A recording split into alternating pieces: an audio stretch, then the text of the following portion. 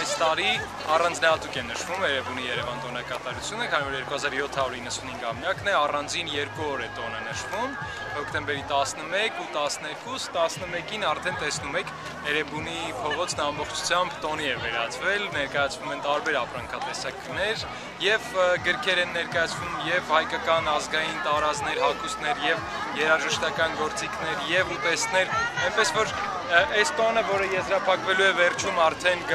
համերգային ծրագրով ու շքեղ հրավառությամբ, սա արդեն հաստում է, որ այս տարի Երևանի Երևան տոնակատարությանը մոտեցվել է, մոտեցում է ցուցաբերվել առանձնակի, ու այդպես ես ուրախ եմ, որ մեր Երևանում նման շուկով է նշվում Երևան քաղաքի տոնը։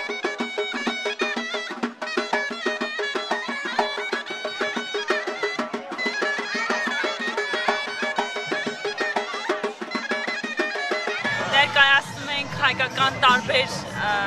ավանդական ուտեստներ, օրինակ սամիր ուտեստն է, որը արդեն չի պատրաստվում, բաղադրատոմսը գրեթե մոռացված է, ինքը պատրաստված է ծորենի տեսակներից, կաթիսերով, փռում եւ հաց